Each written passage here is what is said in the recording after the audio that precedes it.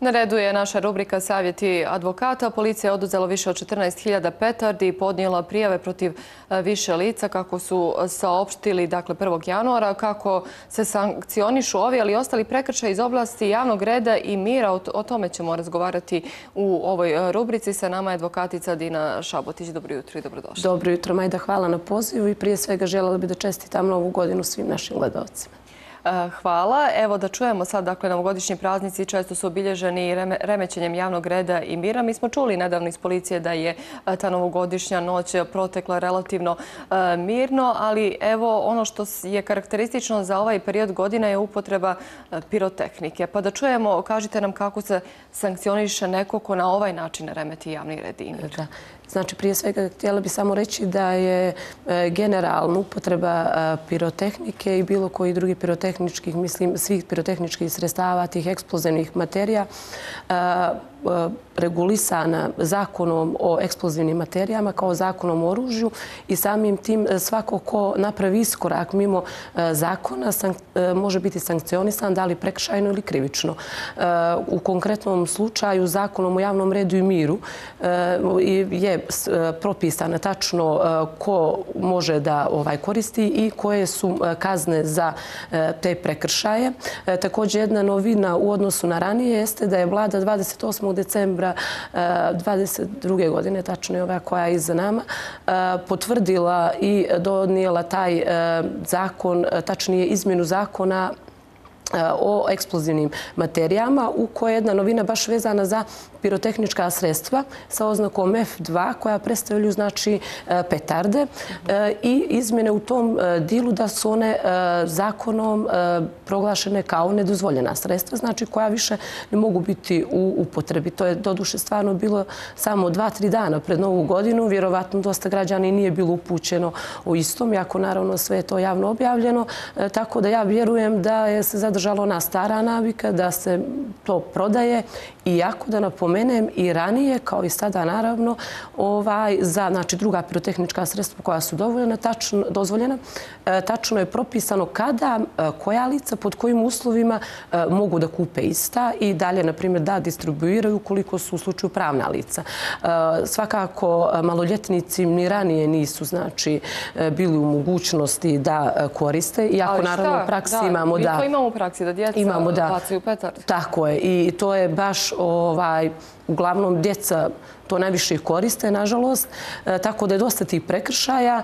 E, obzirom da se dešavaju takve situacije, e, to podliježe odgovornosti pravno lice, znači lice koje distribuira i koje znači, stavlja e, u promet e, takva pirotehnička sredstva koja znači, budu dostupni maloljetnim licima, znači lica tačnije organ koji, izvinjavam se, ne organ, nego znači pravno lice koje to prodaje i dalje, pa onda lice koja preprodaju, jer isto to često imamo pojavu, tako da je to i dostupno maloljetnim e, licima i za njih su kazne e, i visočije, znači mogu da se kreću i do nekih čak desetak i šestnaest hiljada za pravna lica, a za fizička lica opet su e, dosta smatram Mislim, naravno, moraju biti manja, uvijek postoji taj srazmjer između fizičkih i pravnih lica u što se tiče kazni, ali to se kreće od nekih mm, 200 e, do 550 eura za fizička lica, znači za svako lice koje e, koristi ta pirotehnička sredstva. E, mimo onoga, znači kako je predviđeno, jer postoje F1, F2, P oznaka i tačno postoji kad ko pod kojim uslovima može. E, što između ostalog, na primjer, podrazumijeva da ta pirotehnička sredstva ne bi smjela da se koriste u zatvorenim prostorijama ili prostorijama gdje boravi znači, neki veliki broj ljudi, naravno. Ima li nekog utjecaja, e, dakle, mjesto gdje se koristi pirotehnika, dakle, ne u tom smislu, nego da li je neki javni skup, da li je poček nove godine i slično? Da, da, da, da. Znači, pa baš to, ta neke zatvorene prostorije i posebno, znači, e, mjesta gdje se okuplja veliki broj ljudi, baš kao to dobro navela, evo, znači, doček koji je ovaj, za nama, to je često se dešava, a baš ne bi trebalo da se koristi, jer tačno je propisano ukoliko kao što smo svjedoci, vatrometi su dozvoljeni, za to postoji tačno propisano ko kad može, naravno, javne vatromete i to, ili u okviru, znači, svojih privatnih ovaj, stanova i tada, mislim, kuća, tada isto to mora da, da, da bude sve e, shodno, znači, zakonu koji to doslovci taksativno je nabrojano i propisuje tačne uslove. Osim dakle pirotehnike, česti su i fizički obračuni e, tokom novogodišnjih e, praznika kada reaguje i policija i privodi aktere. Kako se to tretira? Pa da, nažalost ima... Imali smo tuču na Cetinju 31. Jeste, nažalost, dosta... Ne, 30. da, dan prije. E, dosta je tih tuča, dosta je to... To je, znači, regulisano može da bude isto da podliježi prekršanoj krivičnoj odgovornosti. Postoje znači to e, krivično dijelo za to masovno učestvovanje u tuči, a takođe e, postoji nešto što je regulisano e, zakonom o javnom redu i miru, onda podliježe toj prekršanoj odgovornosti. Naprimjer, ukoliko neko na bilo koji način postrekava neko lice da učestvuje u tuči, on se kažnjava znači, novčanom kaznom. Ja mislim da je propisano, sad tu je uglavnom do 1000 eura idu. E sad ima ono manje može 150-300, jer onda također postoji kvalifikovani oblici. Ukoliko neko i sam učestvuje u tuči ili neko na naročito bezobrazan i drzak način, što je kvalifikacija manje više svih tih dijela, ukoliko neko e, postrekač ili samim učestvovanjem e, izaziva više ljudi e, da učestvuje, to sve podliježe tim novčanim kaznama, a također propisane su i kazne zatvora. Oni se isto obično kreću u nekom rasponu od 15 dana, 30 do 60 dana. Znači, sve za zavisi. A šta je sa onima koji posjeduju vatreno oružje i upotrebljavaju ga na proslavama, takozvano dakle šenlučenje, kako se postupa prema njima? E, pa i toga je, e, prije svega želim da napomenem da je to zabranjeno također zakonom, ali to i dalje ima e, moje neko mišljenje da moguće da ima u malo manjoj mjeri nego ranije, ali svakako i dalje postoji i ljudi prosto koriste taj način na tim veseljima način nedozvoljen. Svako ko posjeduje oružje, naravno, i za to postoji zakon o oružju, jasno propisuje koje oružje može fizičko lice da posjeduje u kojim slučajima, ali u svakom slučaju e, zabranjeno je e, korišćenje oružja na javnim mjestima. Eh, ili na proslavima, kako, proslavama kako god.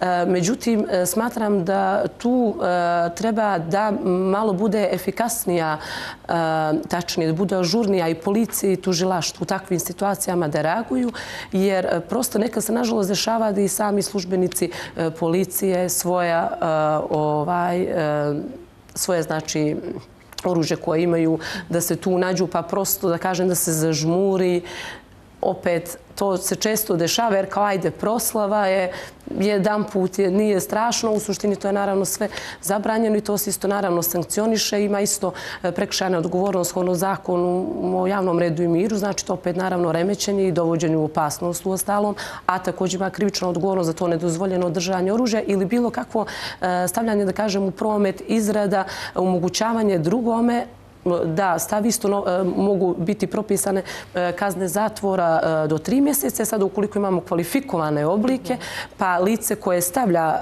u promet i daje drugome na korišćenje ili izrađuje neko oružje, a zna, na primjer, da je ono čak za neko krivično djelo namijenjeno, e tu je veća kazna. Tu već može biti kazna od šest mjeseci do pet godina propisana. Kakve su kazne predviđene za ugostitelje koji propuste da upozore lice koje narušava javni red i mir u ugostiteljskom dakle, objektu ili bez odlaganja o tome ne obavijeste organ unutrašnjih poslova? E, pa da, e, znači, lica e, su, e, koja znači, obavljaju ugostiteljsku djelatnost, oni su obavezi da obavijeste organ starateljstva onog momenta kad vide znači, da je nastupilo remećenje javnog reda i mira.